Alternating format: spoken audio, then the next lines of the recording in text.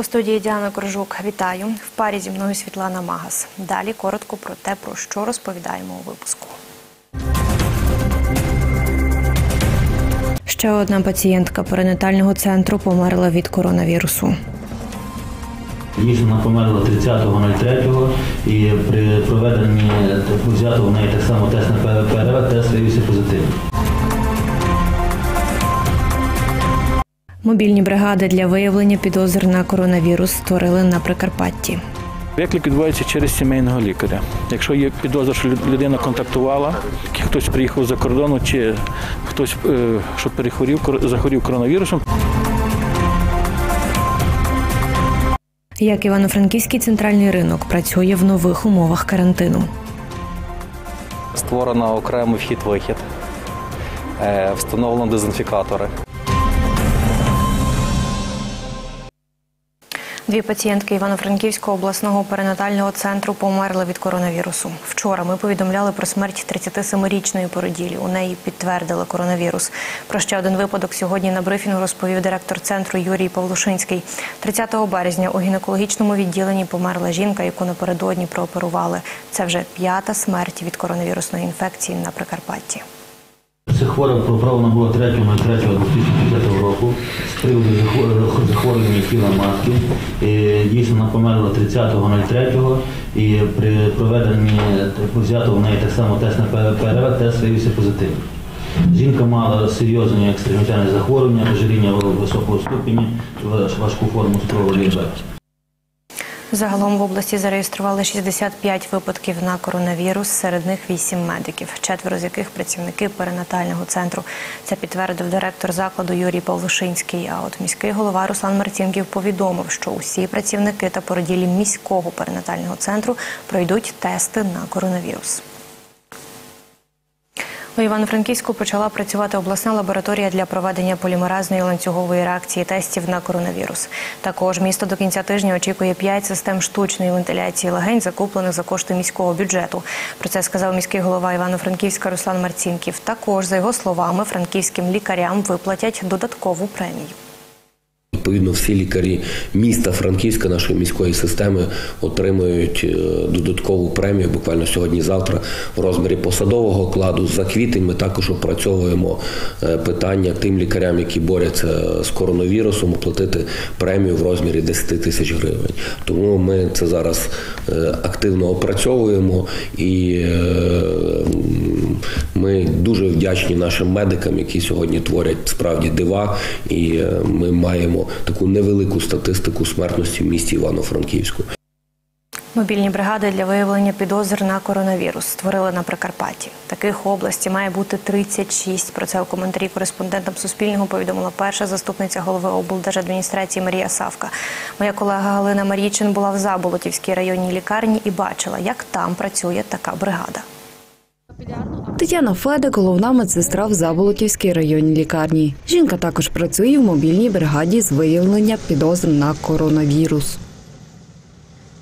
Коли ми приїжджаємо до пацієнта, пацієнта, пацієнта забираємо кров з вени, ну я об'ясняю, або з пальця. Ми забрали з вени, набираємо один кубик крові. Через е, голочку ми запускаємо у ячейку е, теста, пок- е, ну, майже повну до цілого краю. І тоді додаємо три капельки реагенту. І очікуємо 15-20 хвилин. Ну, на 15 хвилину вже більш-менш тест проявляється. Або позитивний, або негативний. І тоді ми за 20 хвилин ми чекаємо, е, який результат, і тоді ми повідомляємо. Виїжджає мобільна бригада на виклик на машині швидкої допомоги, яка обладнана усім необхідним. А для працівників бригади, медсестри та водія є спеціальні захисні костюми. Та чого відпустити? В сумці знаходяться не тільки тести, і всі, які для першої допомоги. Бо це сумка у нас. Тут знаходиться в мене є у нас тести, це от швидкі тести, реагент до нього. У нас є шприци, шприци септивну вату і всі решту такі невідкладної допомоги. У нас є ціла сумка, рукавиці, маски. Все, що для того треба. Є скарифікатори, для, якщо для забору, так само і піпетка. Цю бригаду в Заболотові Снятинського району створили ще 28 березня, розповідає директор комунального некомерційного підприємства Заболотівська районна лікарня Ігор Палійчук. Виклик відбувається через сімейного лікаря. Якщо є підозра, що лю- людина контактувала з хтось приїхав за кордону, чи хтось, е, що перехворів, захворів коронавірусом, то тоді ми, ця бригада виїжджає. Ну, експрес-тести робляться по- всім. Потім після експрес-тесту робиться ПЛР-тест і відвозиться Івано-Франківськ для уточнення діагнозу. Як повідомила 30 березня на брифінгу перша заступниця голови Івано-Франківської облдержадміністрації Марія Савка, мобільні бригади створюються задля зменшення контакту хворих з іншими людьми. Якщо б, наприклад, цей хворий е, е, в лікарню був доставлений, це би було великий контактний е, ланцюг. А таким чином ми мінімізуємо цей контактний ланцюг. Таким чином. Зараз ми саме основне для нас це забезпечення цих мобільних груп засобами індивідуального захисту і експрес-тестами. Галина Марійчин, Андрій Шостакевич. Новини на Суспільному. Прикарпаття. Додаткові обмеження на час карантину від сьогодні діють у Івано-Франківській ОТГ. Це стосується обмеження користування дитячими та спортивними майданчиками, відвідування парків та рекреаційних зон, заборони розпиття алкогольних напоїв та розведення багаття на території громади. Рішення про це ухвалили вчора на засіданні міської комісії з техногенно-екологічної безпеки та надзвичайних ситуацій. Як діють нові обмеження у Івано-Франківську, з'ясовувала Оксана Василик. На дитячому майданчику в парку імені Тараса Шевченка я дітей не зустріла. Каруселі та гірки обгороджені червоними стрічками. Ірина Косоговська, яку я зустріла у парку, каже, іде відвідати дочку, бо давно не бачила її. Нові карантинні обмеження схвалює. Карантин то є карантин. Рукавички, маска. Це повинно бути. Можна сказати, не виходжу з дому. Не виходжу. Рідко виходжу. Тільки так. Магазин і то перед е, скупилася, менше більше все є, не виходжу. Такі ж стрічки обгороджують і спортивний майданчик поблизу міського озера. На ньому займається один чоловік. На камеру говорити відмовився. Поблизу міського озера зустрічаємо велосипедиста. Чоловік каже, що зараз не ходить на спортивні майданчики, які облаштовані на вулиці. Виходжу, хоч трошки подихати, хоч якихось пару хвилин до півгодини і додому. Треба трохи дотримуватись, що робити. Мусимо перечекати це, пережити. Не знаю, скільки це буде, але що буде, то буде. Вмикаю, об'їжджаю людей, маску одягаєте, їж. Як діятимуть обмеження в Івано-Франківську, каже начальник управління з питань надзвичайних ситуацій міської ради Ігор Влізло. Мова йде тільки період карантину. Заборонити розпалювати багаття у рекреаційних зонах, е, користуватися або займатися спортивними вправами на наших дитячих і спортивних майданчиках, враховуючи, що він сьогодні зараз в'їжджався. Через пару хвилин інший прийшов. І ми ж не знаємо, що у кого є, які симптоми. Обмежити це не йде, що людина не може гуляти. Вона може гуляти, але вона не повинна там розпивати е, спиртні напої, вона не повинна там багаття розводити. Ну ви розумієте, якщо багаття, це збирається компанія. Вчора на засіданні міської комісії із техногенно-екологічної безпеки та надзвичайних ситуацій також вирішили встановити пости скринінгу при в'їзді до Івано-Франківська з 2 квітня. Працюватимуть пости з 8 до 20 години, включно з вихідними. Оксана Василик, Олег Головашкін. Новини на Суспільному. Івано-Франківськ. Івано-Франківський центральний ринок сьогодні працює в нових умовах карантину. З 3 березня в приміщенні та на території ринку проводять дезінфекцію. А за 17 березня, згідно з рекомендаціями МОЗ, працювали тільки окремі продуктові відділи. Тоді покупців впускали не більше 10. Від 30 березня розпочали роботу усі продуктові сегменти ринку. Про це кореспондентам Суспільного розповів виконавчий директор товариства Марксмен Компані Геннадій Ахтирський. Тож чи дотримуються умов карантину працівники ринку та покупці, дізнавався Олександр Букатюк.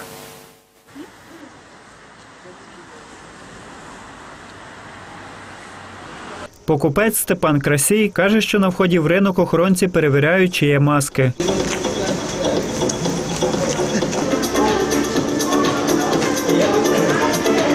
Проте всередині не всі покупці тримають дистанцію, і ніхто в них цього не вимагає.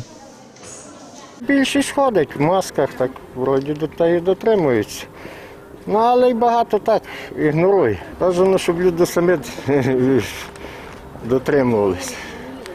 Бо так продавці можуть в аптеках більшість вимагають і пускають так, а так тут десь от, то ніхто не вимагає дистанції.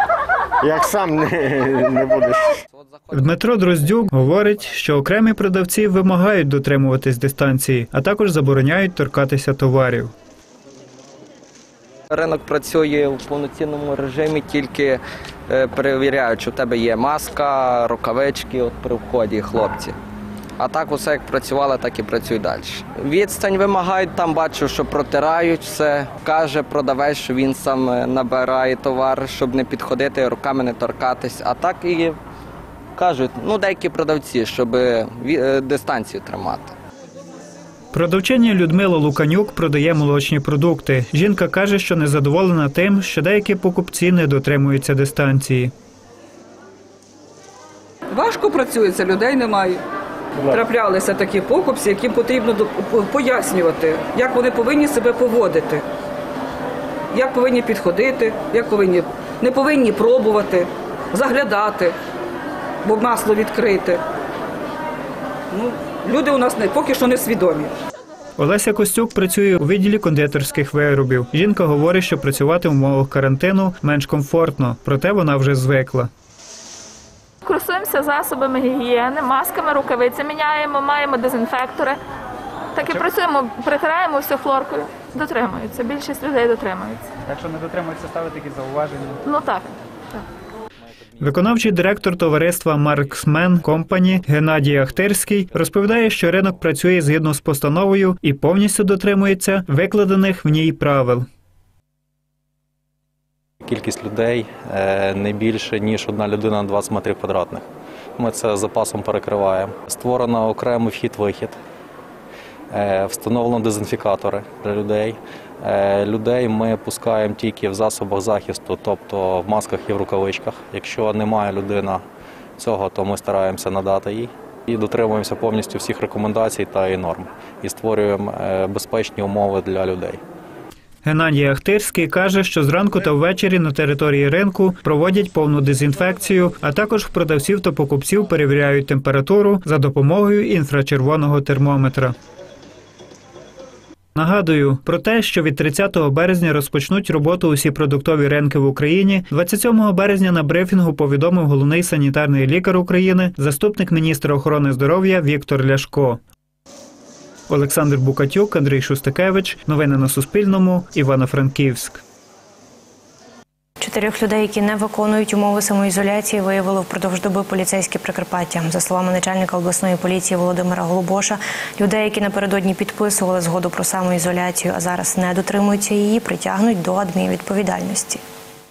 За останні два тижні, які прибули в нас підписані згоди 1590 е, осіб. Ми вибірково постійно здійснюємо моніторинг е, е, дотримання самоізоляції вказаними особами в телефонному режимі, а також безпосередньо відвідуємо по місцю е, знаходження, по місцю проведення цієї самоізоляції. 67 медичних закладів на Прикарпатті уклали договір із Нацслужбою здоров'я України у межах другого етапу медичної реформи. Про це сьогодні на щоденному брифінгу розповів заступник директора обласного департаменту охорони здоров'я Володимир Чемний. За його словами, заклади спеціалізованої допомоги подали заявки щодо надання 392 пакетів послуг. Деталі в сюжеті.